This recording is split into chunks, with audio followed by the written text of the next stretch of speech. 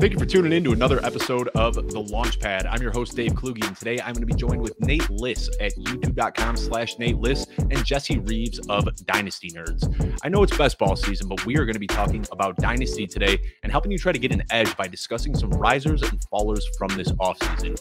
Do we think Amon St. Brown is a guy that you should be buying, or was his end of season finish a flash in the pan? How is Devin Singletary supposed to be looked at now that he's got James Cook to deal with? And at the very end of the show, we're going to have a very spicy conversation on 2023 rookie picks. So make sure you stick out through there. You're really going to enjoy this show. So strap in.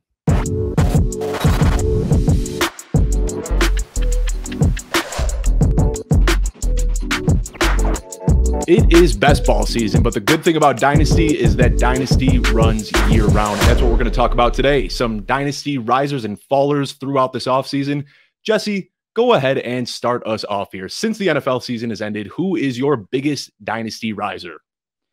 Yeah, so there's a lot of different guys I can choose from. I think the dynasty landscape's an interesting thing right now, but I, am gonna go with Kadarius Toney. and I know a lot of people wince when they hear that name right now. He's not necessarily a fan favorite. You can you can draw a line in the sand, and you could probably split a room on either side of that thing. But for me, he's one of the guys that really stood out in this offseason the Giants really didn't do anything outside of, you know, hire Brian Daboll to come in and revamp that entire offense and everything as the head coach. They didn't really do anything to tell us that Kadarius Toney isn't going to have the opportunity to take another step in that offense. Last year, we saw.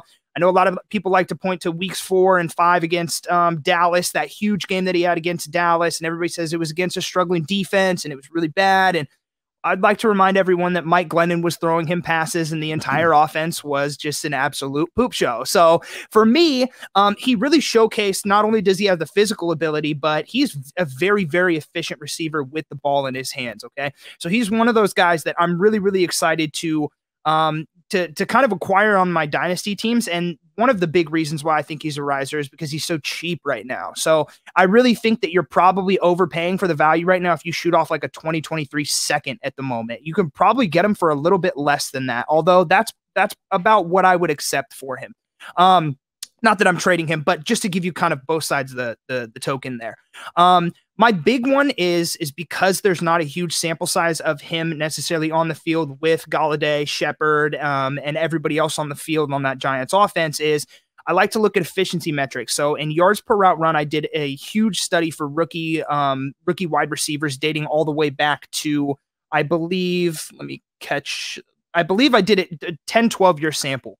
Um, I looked at rookies like, you know, Percy Harvin, Hakeem Nicks, Brian Hartline, um, all in that 2009 class. And I wanted to see like what, you know, yards per route run, these efficiency metrics, what do they look like for wide receivers coming in from year one? And do they have, does that have any fantasy relevance or a signal for where they're going to go?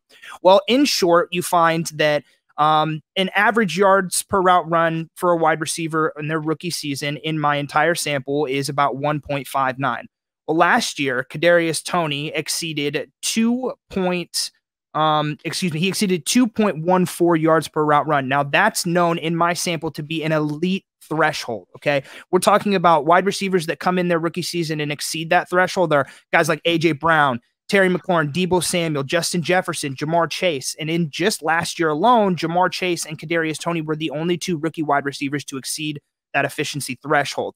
Um, wide receivers that do pass that mark go on to place in the top five, excuse me, the top 12 at a really, really high rate. So I have wide receivers in that sample that do exceed that average to come in and hit a top 12 fantasy season at a 38% clip, top 24 at a 64% clip. And those are really, really good numbers given back, given that I dated all the way back to 2009.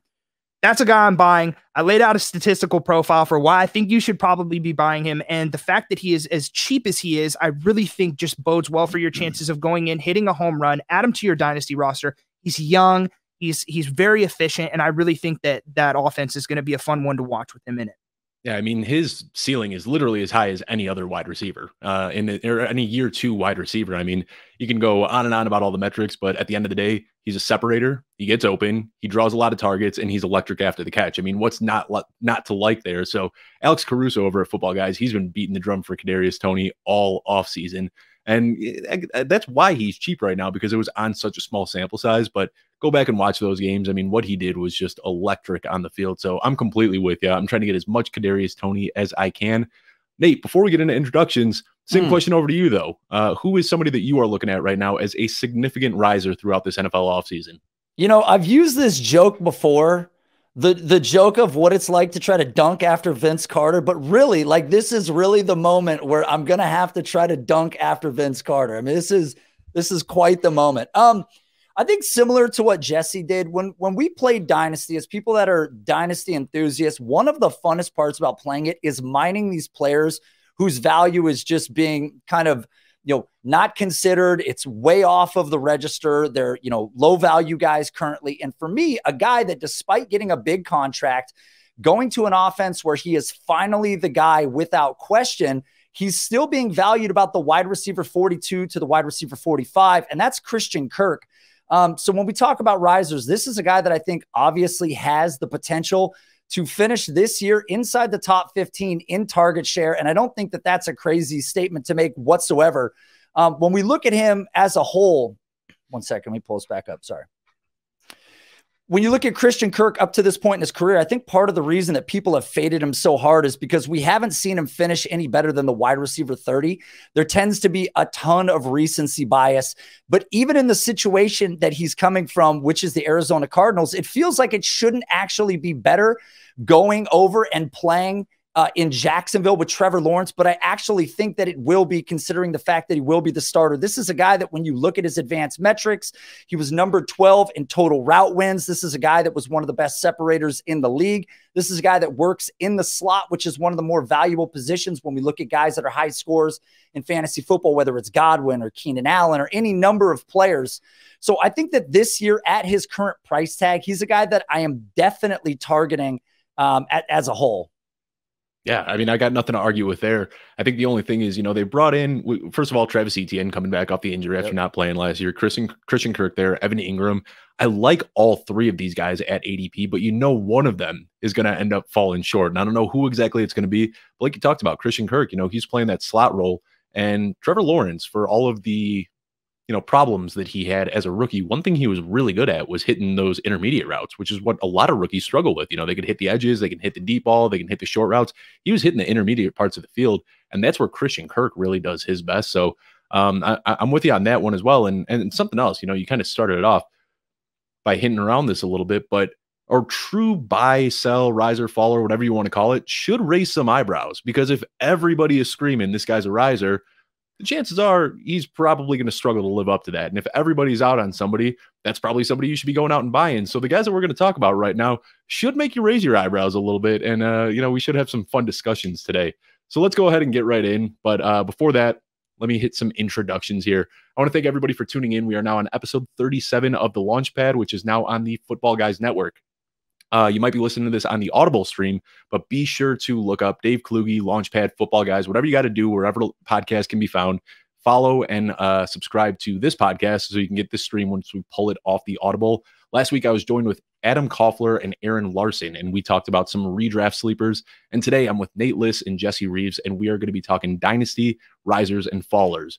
And like I said at the beginning of the show, it might be best ball season, it might be redraft season, but you can really use this time to leverage some fun trades, make some offers out there, and still get an edge in your dynasty league. So, first of all, let me introduce Nate Liss here, formerly of Breakout Finder. You can now find all of his content over at youtube.com slash Nate Liss. He has been crushing it over there. Nate, let everyone know where they can find you on social media and what you're working on these days.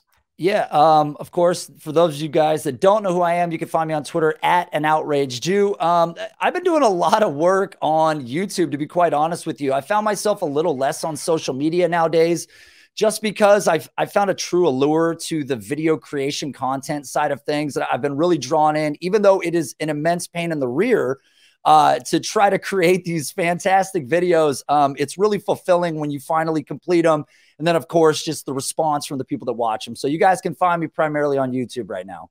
Yeah, we got the pain in the rear coming here from Nate. We already got Dre- Jesse dropping a, uh, a, a poop show in New York. So I want to thank I both of you guys cuss. for You said I you guys are adhering to the so- rules. Yeah, I, I, I told these guys five bucks per f bomb if they dropped them in the show. So they're going to keep it as PG as possible today. But if you want to feel the you know the, the full explicit version of Jesse and Nate, you can follow both of them on Twitter, YouTube, wherever it may be.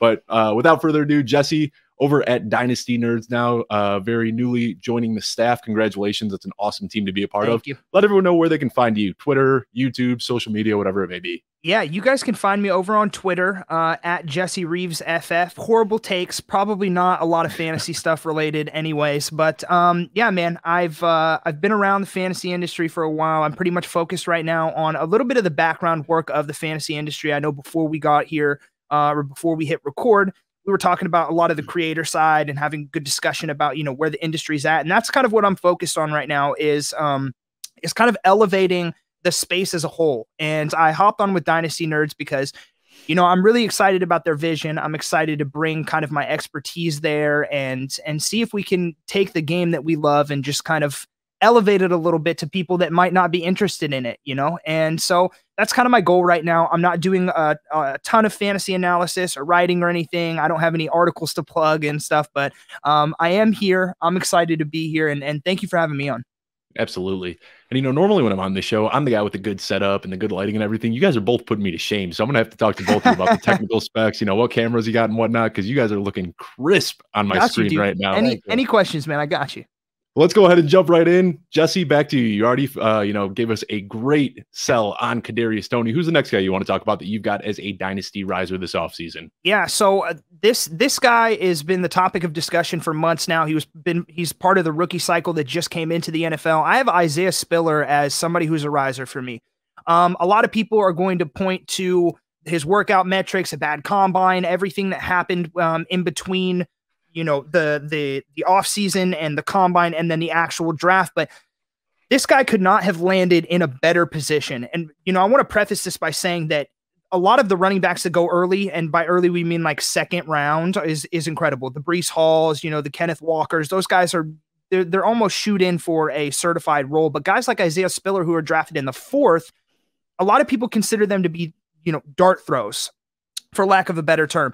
I think Isaiah Spiller is probably between a dart throw and a sure thing. If there is that tier, if, if there isn't, I'm creating it right now because that's where I'm sticking him. Okay.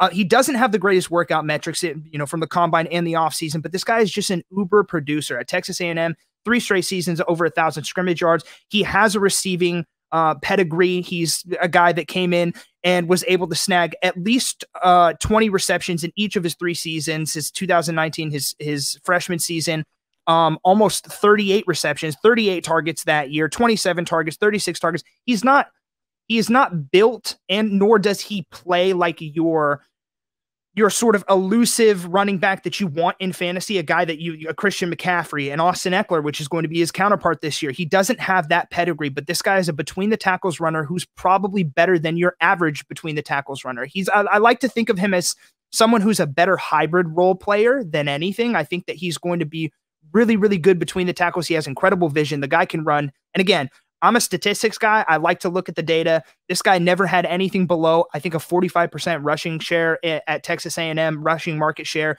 Also had a pretty substantial market share of receiving yards there.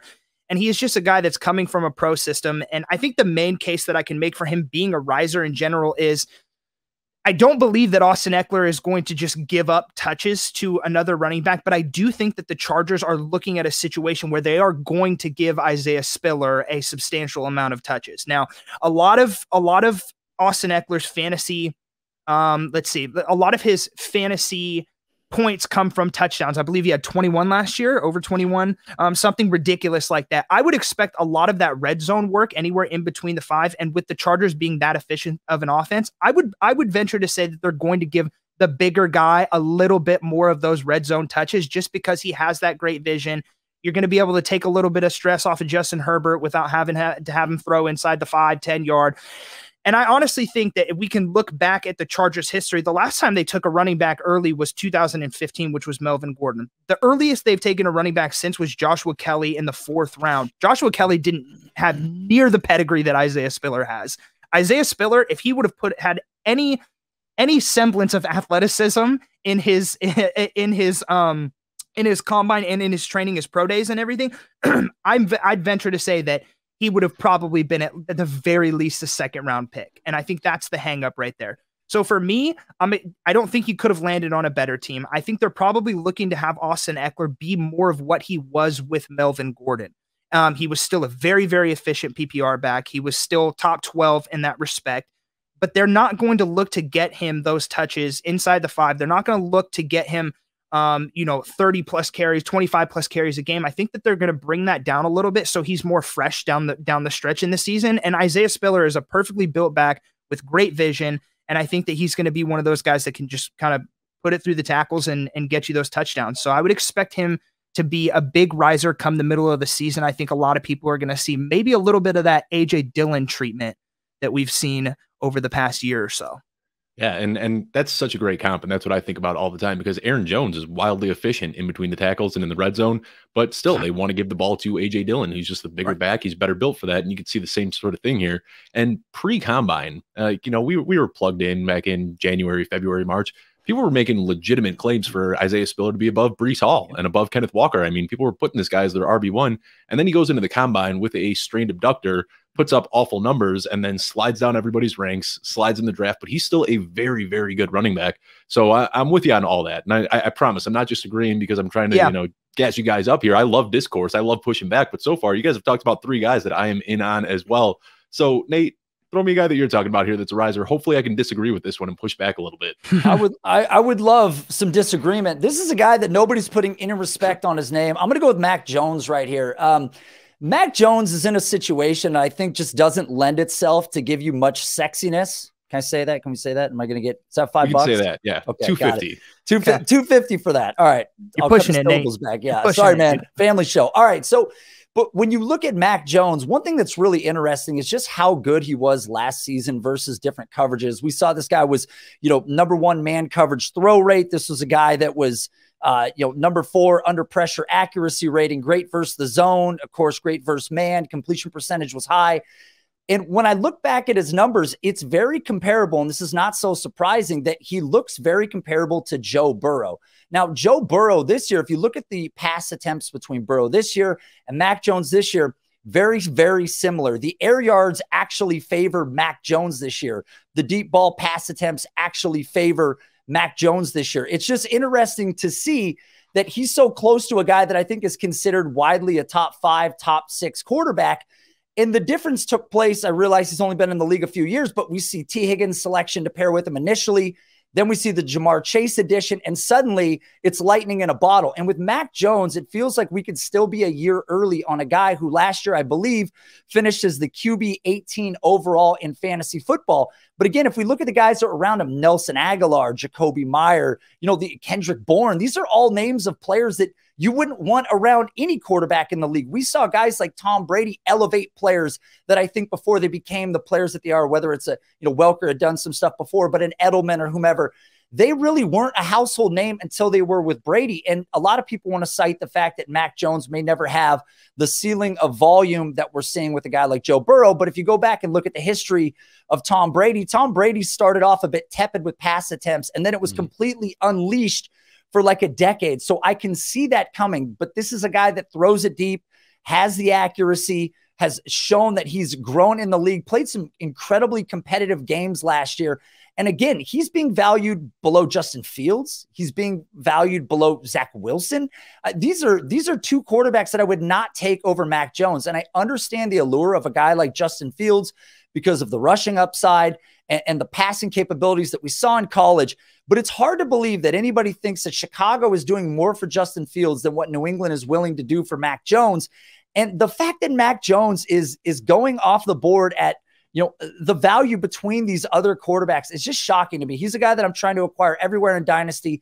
He's still very cheap. And this might be the year with a little bit of a turn up of these dials that we see him start to push into that top 12 sort of QB1 range. Because again, he was 10 touchdowns less than Joe Burrow, who threw the same amount of pass attempts. He had as many rush attempts, but Joe Burrow had two more rushing touchdowns. So if some of these things start to go the other way, then all of a sudden Mac Jones looks a lot more like a household name. Yeah, and I, I, had to pull up both of their numbers. You know, I was ready to push back on this one hard with the, probably the same thing you've heard over and over again. You know, he's boring. He doesn't have a ceiling. It's a run first offense. But what you said with the comps to Joe Burrow, that is blowing my mind right now. Their intended air yards per pass attempt were almost identical. Passing yardage on the season, identical. Uh, completions, attempts, you name it. I mean, Joe Burrow had some extra yards, and it helps when you got a guy like Ja'Marr Chase ripping off, mm-hmm. you know, 50, 60 yards per, uh, per per game after the catch. That certainly helps. But now, you know, they, they didn't bring in any huge names, but with DeVante Parker there, with Tyquan Thornton, they've got a little bit of extra firepower now around Mac Jones. So, you know, again, I wanted to push back on you, but now I'm reevaluating my take a little bit and wondering if I'm a little bit too low on Mac Jones. Well, I yeah, mean, part, oh, go ahead, Jesse. Oh, I was going to say, just from even just because this is a dynasty centered show, like it, a lot of the dynasty leagues that we all play in are super flex leagues, and the the mm-hmm. the fact that you can acquire a guy like this or even a Trevor Lawrence for the price that they're going for right now, like they just hold value way longer. And knowing that, that Mac Jones is probably likely to take another step this year is just, it's more of another reason to go ahead and, and just shell that maybe that one first out, or depending on your league, even, you know, if it's a couple 20, 23 seconds in a player or, you know, something like that, like go acquire a Mac Jones right now because I think that it, it's going to pay dividends, just like Nate said. I think it's yeah, he's going to take made that a strong argument for the ceiling there well, that I, I, didn't really see before. Yeah, I mean, think about this too, and and, and again, Ja'Marr Chase was a very big difference maker, obviously yeah. for this offense, but. And New England has a propensity for absolutely screwing up the wide receiver selections. I think they probably did it again this year. But when you when you look at the situation, I'm sure they did. They, They're essentially a playmaker away from Mac Jones having this, you know, this one to one situation comparison. So I just really hope that, and again, in Dynasty, it's better to be a year ahead. A lot of people that play Dynasty are the types that would rather pay sticker value or more to see the product validated. I'm the type of player that wants to buy them early because I never pay sticker price. Yeah, no, I, I, like that. And maybe it's Jonnu. Maybe they already got the guy in the roster. Maybe they finally unlock Jonnu this year and, and turn him into that YAC guy. Doubtful, but we we can be hopeful, right? I mean, I'm I think I'm sitting at 60% exposure on Jonnu Smith right now and, and not feeling too good about that. Jesse, you got anything else to add to Mac Jones? Because that was a that was a heck of an argument there, Nate. Yeah, no, I I like it personally. I'm probably gonna have to go shoot some offers out for Mac Jones now because I I totally agree. I'm with you, Nate. Thanks, man. All right. Well, Jesse, let, let's talk about the next guy then. We each got one more riser we want to talk about here. Who's the next guy that you want to talk about? Yeah. So I know you mentioned raising some eyebrows here, and I really hope that this one does because I'm I'm personally excited about him. My my guy who's a riser right now, and and I know some people will agree, but a lot of people are just gonna scream into the abyss about the age cliff and everything. But Allen Robinson is a guy that I'm probably fielding a couple offers for, and he's he's somebody that I'm trying to acquire on especially contending teams right now. Um, look, he's going to a brand new team. He's coming off the worst year of of his entire life, pretty much right now in terms of statistics, metrics, and everything. Um, but he's he's 28 years old, which is which is actually pretty much the same age as Cooper Kupp, surprisingly. And Allen Robinson has played what two, three more seasons than Cooper Kupp as three, well, which yep. is yeah, three more seasons than him, which is I just learned that, which is pretty baffling to me. Um, but with that being said, I think he could not have gone to a better team for his playstyle and for his fantasy production. We're talking about Matthew Stafford is coming off just an absolute whopper of a year where he threw the most patches, passes, pass attempts of his career. Um, I think if we look at his statistics, I mean, ninth in deep ball attempts, pass attempts, he was eighth in red zone attempts, 116 red zone attempts. That that offense was just extremely efficient in getting into the red zone. Now he did have a couple games where you were just like, oh, that's that's Matthew Stafford. Okay, I get it. But all everything that we see from the quarterback position and McVay's scheme would suggest that Allen Robinson is going to be very, very good in 2022 and beyond. Now, I know that this one in particular might be more centered around contending teams, but I do think that there is a layer to which we can look at Allen Robinson objectively and say this guy has a shot to be a factor in this offense for the duration of his of his contract, right? And he signed, I can't remember off the top of my head, was it two or three years? It was three, right? Three. I yep. think, and in Dynasty, we tend to look at things. I think we we get a little bit of redraft brain sometimes when we make trades and we look for the immediate impact, which he's going to have immediate impact, but I think we forget that these these age windows for wide receivers, number one, are are longer than the running back position. Um, and in that, I think for the duration of his contract, I think he's a pretty solid bet for you to come in there and have strong, at the very least, fringe wide receiver two, and maybe even if he has, you know, a good enough sample size, excuse me, not sample size, a good enough um target share in that offense, which I'd like to mention Robert Woods through those nine games had, I think, 21.5% target share, regardless of Cooper Kupp absolutely going insane. There's more than enough volume for Allen Robinson to come in, have a good amount of that target share, and probably sit comfortably in that wide receiver two land. And I am more than willing at his price range right now to pay for that on my contending dynasty teams to really make that transition and go and shoot for a championship. So that's kind of a guy that's rising for me. I know a lot of people might disagree with the age cliff and everything. Dude's only 28. He's got a lot left in the tank. And I, I I'm I'm more than willing to just push that bad season aside. He's on a very efficient offense, and I think he's going to be a huge factor this year, especially for contenders. Yeah, and Allen Robinson is a guy that I think that you just have to kind of look beyond the numbers a little bit and look at the situation that he was in last year in Chicago. Um, just so you know, Jesse, I'm fully on board with this. I just published an article about a week ago, like 2,500 words on why you should go out and buy Allen Robinson. I've buy got him, him as a top 12 receiver in redraft this year. But from a dynasty standpoint, I'm with you as well. You talked about the Robert Woods target share, 21.5% but he was also a wide receiver one. He was the wide receiver 12 in scoring when he tore his ACL. And that was well, Cooper Kupp was the overall wide receiver one. There is more than enough for two yes. guys here. And then even when OBJ came in mid-season, after being written off as completely dead, nobody said he had anything left in the tank. It took him a couple of weeks to get up to speed, but he was putting up middling wide receiver two numbers on the back half of the season as well once he once right. he got there. So I'm completely with you. Um, and, and like I said, you know, looking behind beyond the numbers a little bit the writing was on the wall. And I was talking about this last August. Um, during camp, Justin Fields and Allen Robinson got no reps together at all. And, you know, there was a contract issue. So Allen Robinson was showing up to practices late, leaving early, wasn't putting in any time with Justin Fields, but he had a pretty strong rapport built with Andy Dalton. And week one, when Allen Robinson was healthy, 28% target share, 11 targets. He was his normal target hog self. And then week two, same thing. He came out, drew three targets on the first drive. Andy Dalton tweaked his ankle. Justin Fields came in, and then Justin Fields, who had a pre established rapport with Darnell Mooney, started hyper focusing Darnell Mooney and Allen Robinson's target share plummeted. He checked out, he phoned in the rest of the season, then he got hurt, and it just all kind of spiraled from there. But this is a new season where we've been waiting for what seven years now, just saying, like, what would it be like if Allen Robinson had a good quarterback? And now he has a good quarterback. He's with the reigning Super Bowl champs, future Hall of Famer as his quarterback. So yeah, I mean, I, I don't think a career year is something you can say because he already put up 1414. It's going to be pretty tough to, to, to post those numbers. But uh, yeah, I mean, absolutely rebounding this year, and, and I like him for the next three years in Los Angeles. Yeah, and for anybody still asking the question, what it what would it look like if Allen Robinson had a good quarterback? I mean, just look at Odell Beckham and Robert Woods from last year, as well as Cooper Kupp. I mean, there's just no argument to not go out and send some offers to the the Allen Robinson manager in your leagues and try and acquire him, especially if you are a contender. I really think he's one of those pieces that midseason are going to push you over the edge. And if you're if if you're holding him right now, like I am on a complete rebuild, I have refused to trade him for anything less than a first. I don't care if I'm being bullish. I'm going to do it midseason. I'm going to trade him for a first because somebody is going to come crawling for him when he's scoring 14 fantasy points per game it, every single week and he's just I I'm I refuse to sell him right now for what he's going for. But I am buying him for what he's going for 10 out of 10 times. Yep. You got to have some conviction in your takes. And if exactly. you think that he's going to pop, wait until a few weeks into the season when he shows that he can do it in Los yep. Angeles and then trade him. I'm, I'm exactly. completely with you there.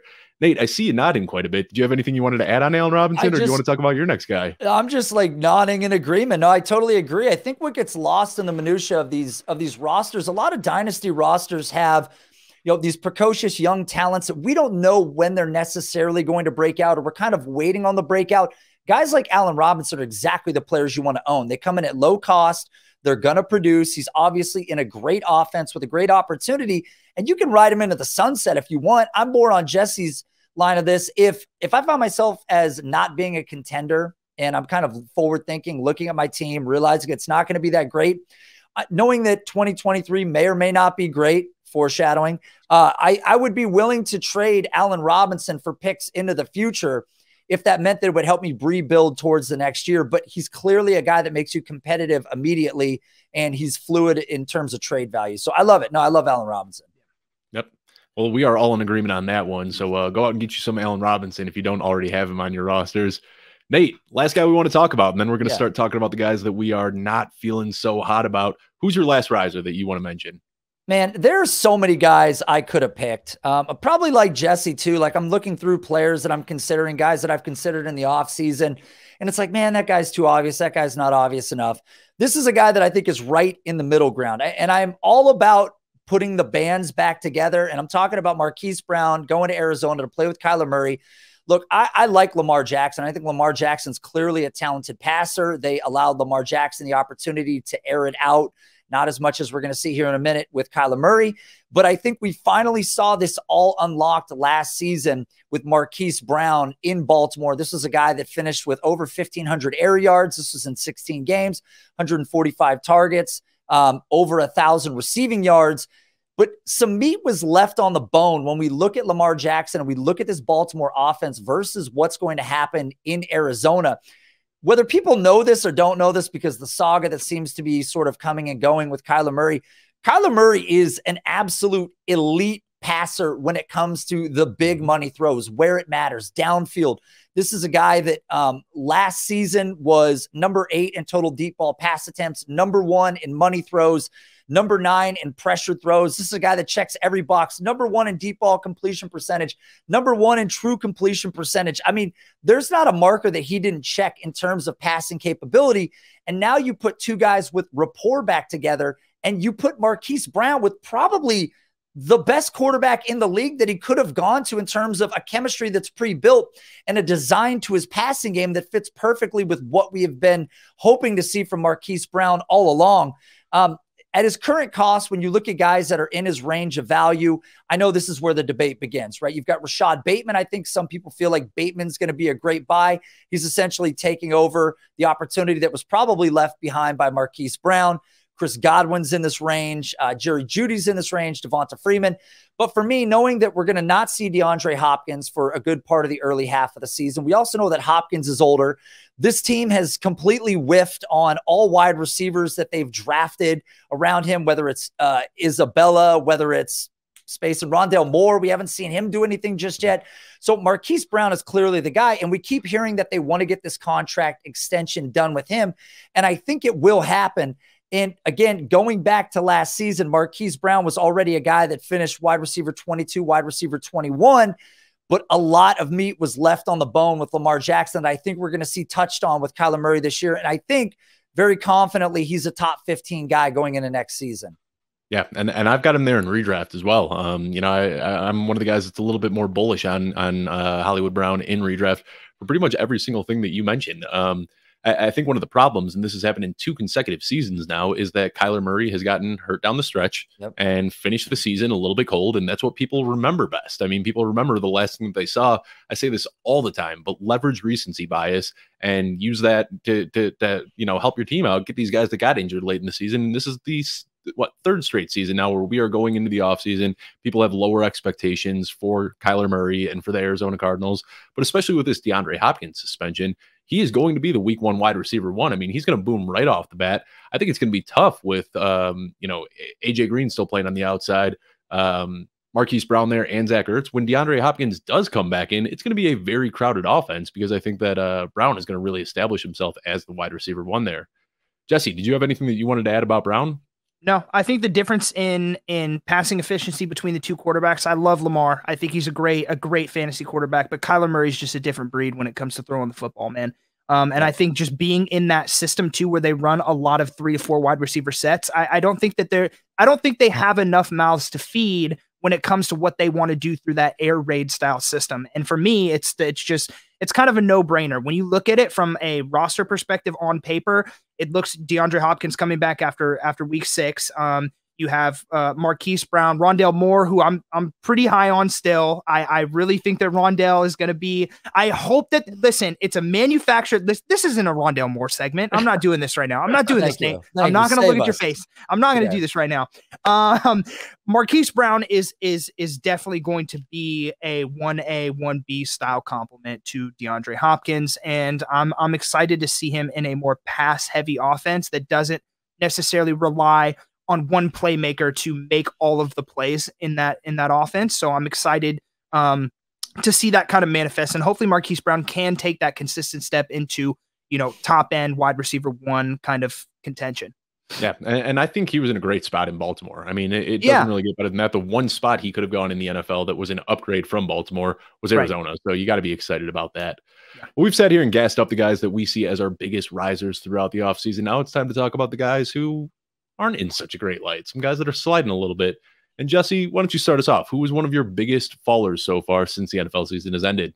Yeah, so when I when I make these lists of fallers or sell guys that I'm really looking to offload on my rosters, a lot of them are pure, purely situational. And I want to preface this by saying I like to be a year early than a year late with my dynasty rosters. That's the way that I look at it.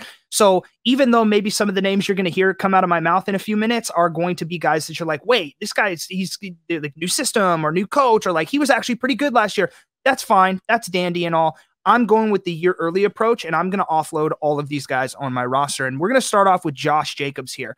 Nothing insane. I think he's he's fine right now. I think he's still locked and loaded for an RB one style role. Um, Josh McDaniels, and you know, coming from his his Patriots, um, I don't know what the word I'm looking for, but coming from his Patriots stint, I guess you could say, um, you know, they use a lot of Uh, of running back by committee style approaches. It's really hard for a running back to get consistent, consistent workload in those offenses. I don't know if he's going to adopt that same thing. So I'm not going to even come out and say that's one of the biggest reasons I'm, I'm off of Josh Jacobs. I'm off of Josh Jacobs right now because in Dynasty, I think we're looking at the highest value he's going to have from this point forward.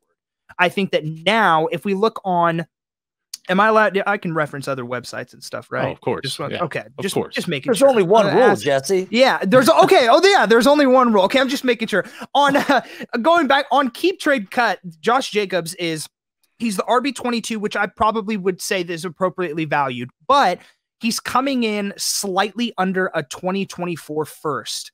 I am more than willing to smash that accept button right now on Josh Jacobs, and I've actually seen it happen in one of my leagues. Um, I'm more than willing to offload that. He's a young running back. You can pitch that he's still got a lot of good years left, but I am out on him right now before the Raiders did not pick up his fifth year option. They're not going to, he's likely not coming back. And I am going to get out of that on my dynasty rosters right now before he ends up on a team and ends up being the Kareem Hunt to a Nick Chubb or, mm-hmm. you know, like that kind of scenario. Josh Jacobs is a good running back. And for the past three seasons, he has held his own a, a, against up into the, the upper echelon of, of top 12 running backs right now.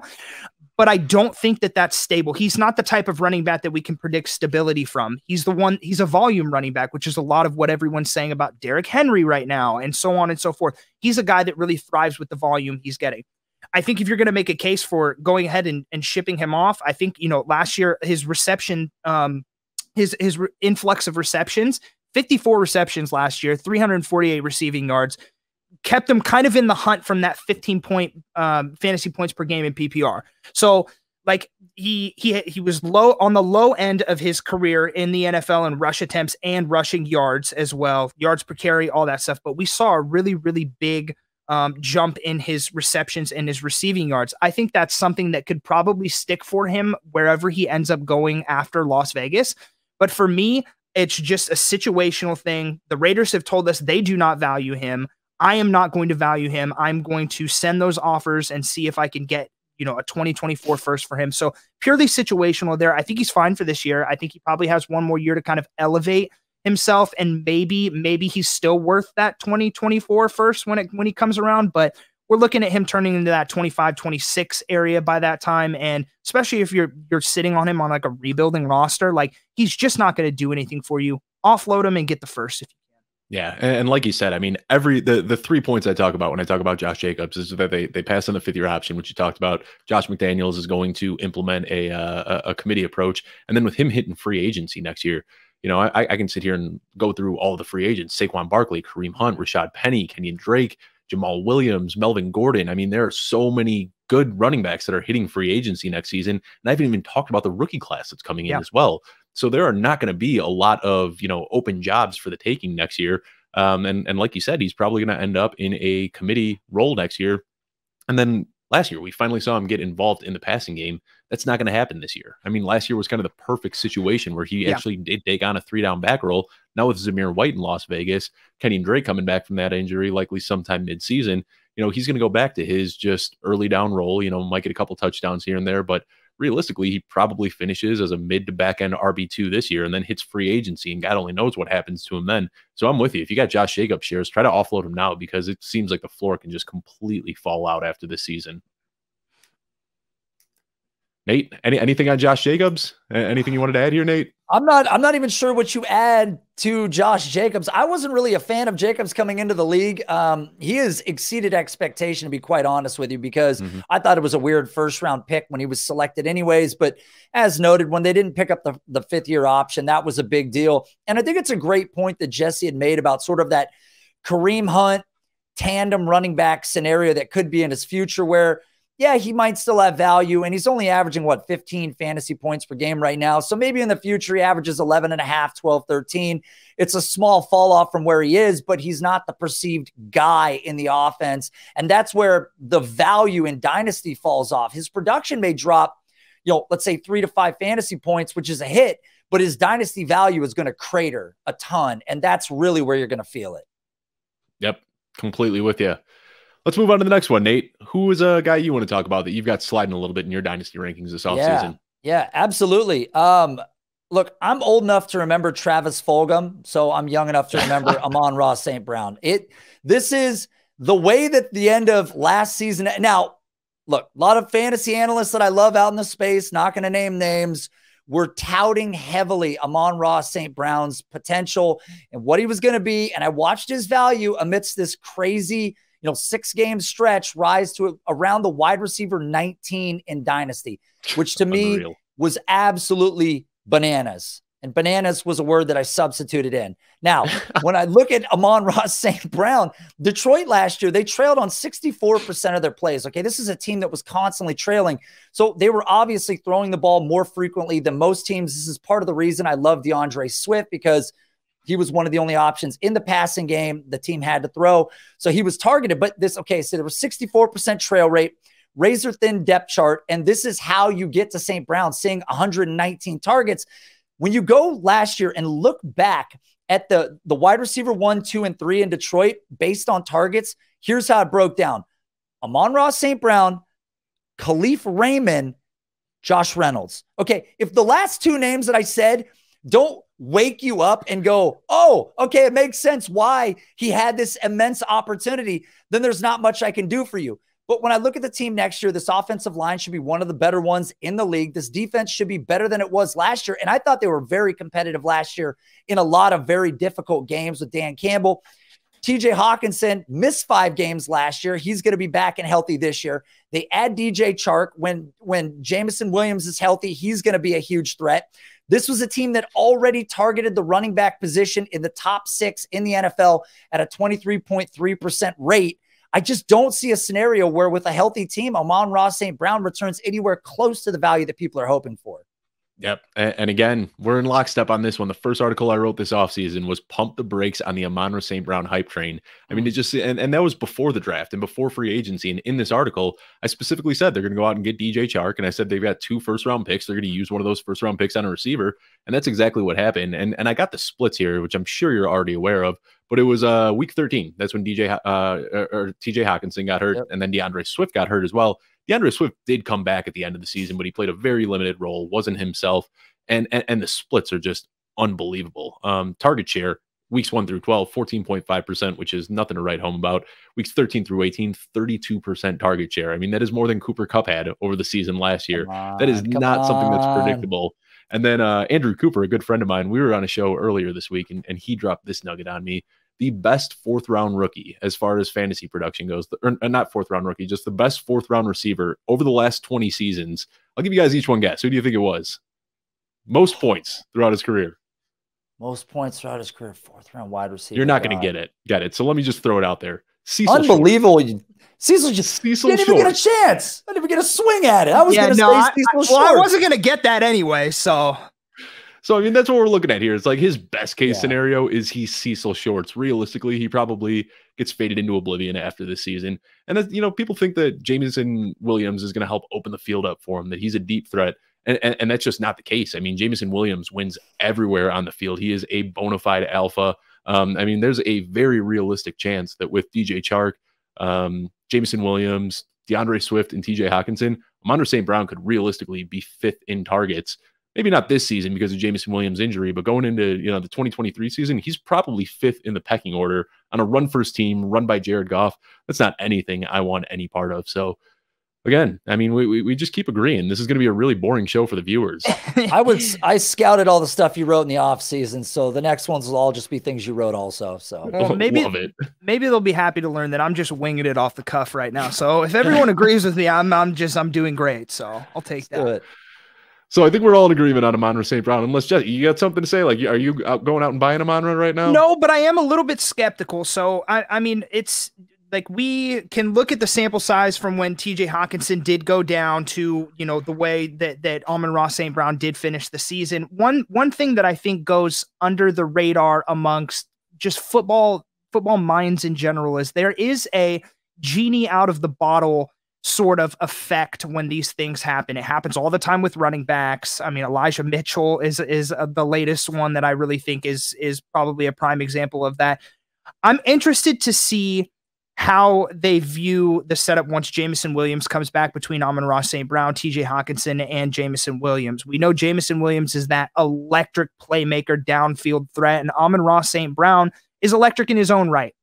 But for me, I- am always going to lean with the data. I'm always going to lean with the fact that he was a fourth round wide receiver, and teams invest in, in in players early that they really, really want to invest in. That's going to be Jameson Williams. But there is an effect of the genie has been let out of the bottle with Amon-Ra St. Brown. And I think that there's something to be said for the front office looking at him, at him and being like, this guy can be a difference maker in our offense. I would not be surprised if come 2022 and beyond, they manufacture touches for him. They manufacture that those those targets for him. That's the way that I look at it. That's the way, you know, I'm I'm with you, Nate. I'm not saying he's I'm not oh, I'm not buying him. I'm not buying him, but I am saying that there is a legitimate case. Yeah, I, I'm, I'm I am Nate, Nate, I Nate? feel like you're trying to turn a small battleship in a tiny bay right now. This doesn't, I'm not, we're not in lockstep anymore, actually. We're, we're not. Um, I think that and, one of the big differences. Jesse for throwing it out there. I'm just, no, I'm just saying. Listen, I'm got, just saying. Look, you do. You've got, you've got big, you know, family yeah. show, right? Cojones. Yeah. I think Cojones, exactly. Yeah. Basketball. There we go. Listen, I, there we go. I think one of the big differences, I agree with the genie out of the bottle. When teams finally go, oh crap, we hit. This guy's yeah. actually good. Tyreek that Hill. is an effect. But I think we've seen it time and time again. When you say the word data, what you're essentially saying is allegiance to the draft capital. Teams that draft guys late rarely give them opportunities. When, when they put a first round pick in on Jameson Williams, like he's getting opportunity, he Absolutely. will be on the field. The one thing I will say about Amon-Ra St. Brown, so now you're forcing me to be complimentary, by the way, which I yeah, don't do like. it. Do the it. one, the one nice thing I'm going to do it because I wanted to, not be about it, Nate. Be I'm not about really it. about it. Uh. Stop yelling at me. The one thing that I have to say is that his snap share out of the slot could be one of the big advantages and one of the reasons that we see him still sort of survive in this offense, if you will. I think we might see some occasional production out of him, some games that are fantasy viable. But again, I'm just, I'm just not in on this guy whatsoever um, for all the reasons that I mentioned, even despite the fact that Jesse just tried to convince me. And, and I think the biggest thing is like if the team trusted Amon St. Brown, they wouldn't have signed DJ Chark. They wouldn't have traded up in the first round for Jameson Williams. I think those two, you know, signings, the the additions are pretty indicative of how the team feels about Amon St. Brown. They absolutely forward. matter. They add those signings absolutely matter. I'm I'm just I'm just saying there is a level of and I know I I don't use there are outliers. There are guys there are the Julian Edelmans of the world that are drafted late and they literally they are there there are dude I'm telling you right now there are guys like that that once they flash mm. teams they they they're like okay this guy can be a difference maker. Now to the counterpoint your guys's point there is something to be said for DJ Chark and um and uh, Jameson Williams coming on board and TJ Hockenson still being a factor. I'm just throwing it out there, and that's it. And, I, and we appreciate that. We finally got some good discourse here where we aren't all just, you know, uh, kumbaya and telling each other how great each other's takes are. So I'm glad we got to have that little discussion there. But, you know, let, let's go ahead. We're running low on time here. So let's keep it down to one more faller for each. Hopefully, you guys save the best for last. Jesse, start us off here. Who is your final faller that you want to talk about here?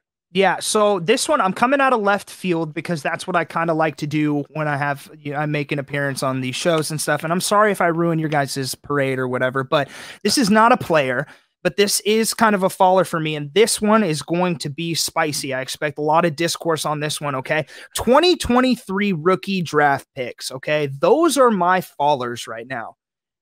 Okay. Yeah, even okay. both of you guys okay. right now. I know everyone wants to go acquire Tell them. Me. They're so, they're gonna be they're gonna be so incredible right now. If you have a 2023 rookie pick or you have multiple because you're probably smart and you knew that this draft class was going to be great, you're sitting on a literal gold mine right now, especially heading into midseason. This is the time right now where you understand that looking at all of your draft picks in a single year. It does not matter what year it is. It could be 2025, 2026. The only real value that a draft pick has is if it's in the first three picks of any rookie draft. Those are premium picks. Those are the premium ones that everybody wants. And in this upcoming 2023 class, people are convincing themselves that there's 12 of them that are going to be worth a 101. I'm sorry to tell you that it's not going to happen. Okay. They're going, if we're going to enter the 2023 season right now, it is going to be CJ Stroud, it is going to be Bryce Young, and it is going to be maybe JSN, Jackson Smith-Njigba. And that's it. Everyone's convincing themselves that Tyler Johnson, that um that that Bijan Robinson, which I, I like Bijan Robinson. I think he's going to be great. I think that there's going to be, the, I think he's going to be a great running back. But I'm telling you right now that if you treat these picks the way that the market is treating them, you are more likely to gain a player that is better right now for your team than what you can with that pick in the long run. Okay.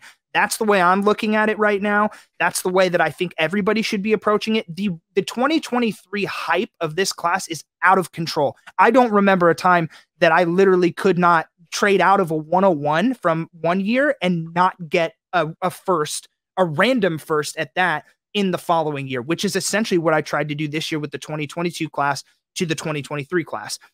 It's absurd right now. And you're literally sitting on an asset that you can flip for a better commodity right now that's going to help your team. And if you're really, really smart and you're willing to give up a couple of those 2023 picks, you're going to get an asset that's going to be a big difference maker now and in the future if you're a smart dynasty trader.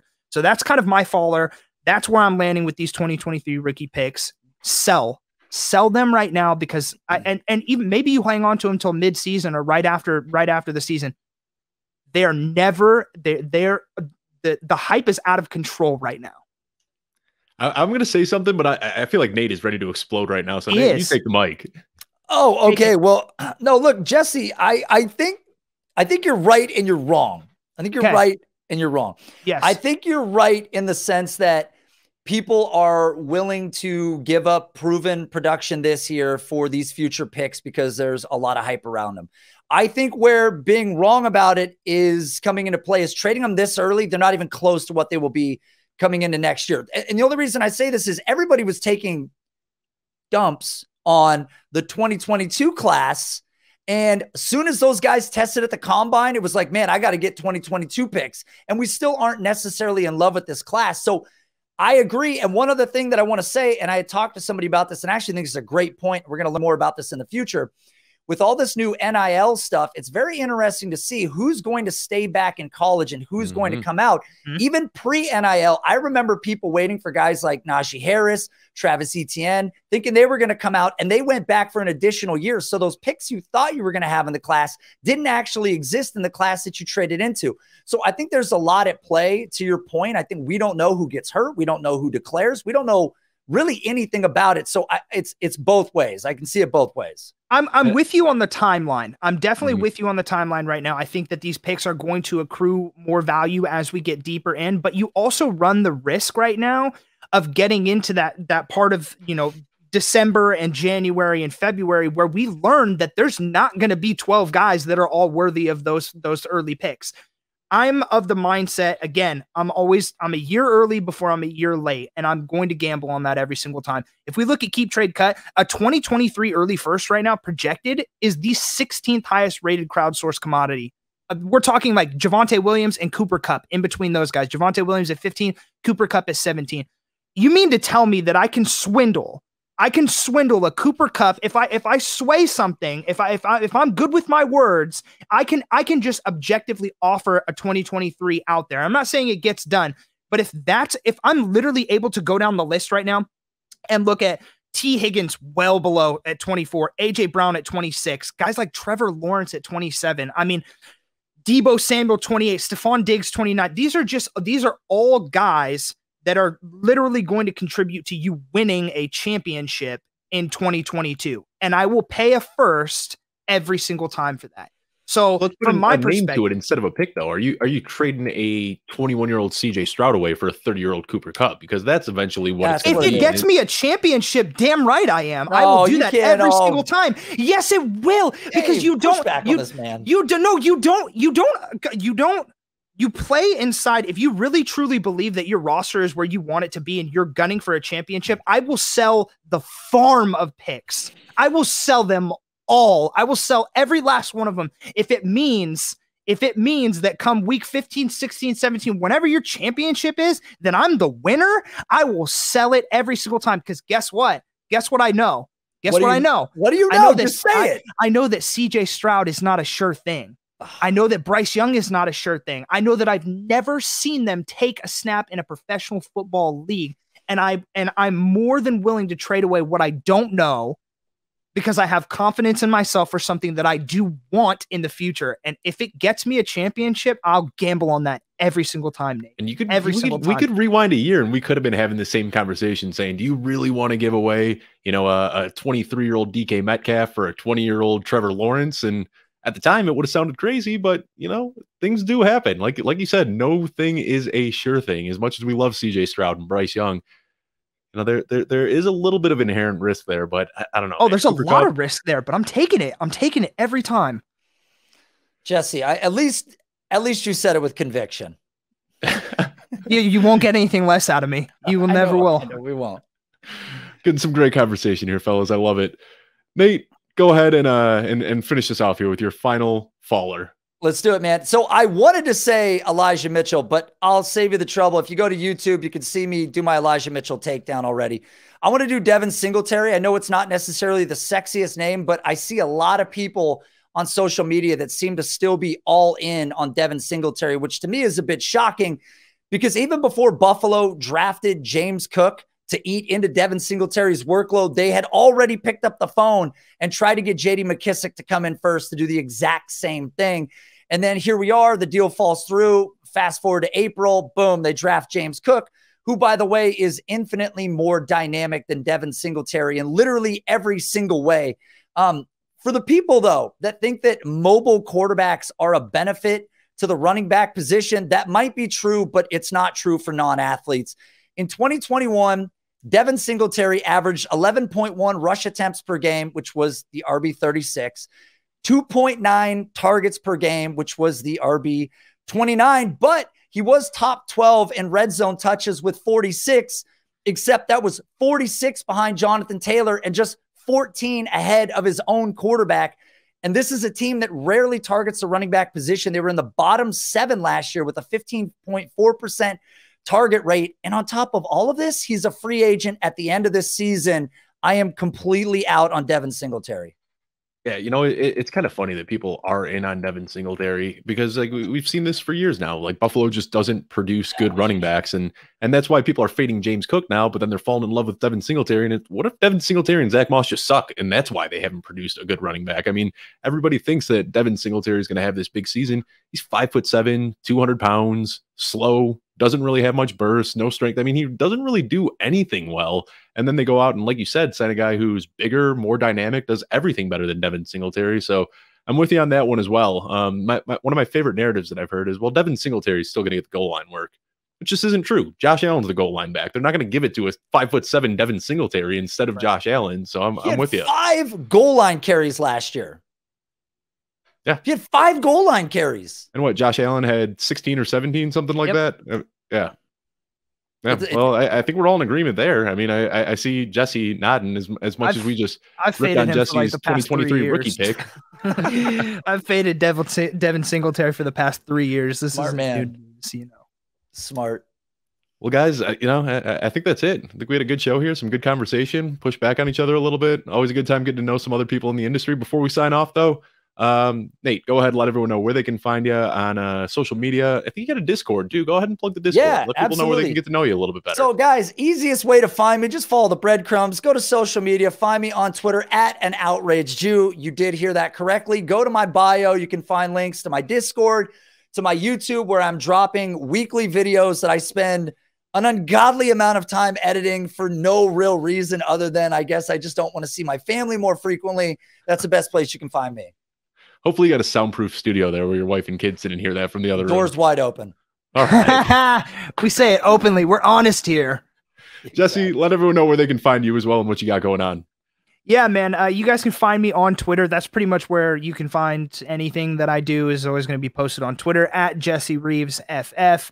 Um, and yeah, dude, you guys can find anything that I'm involved with uh, over at dynastynerds.com.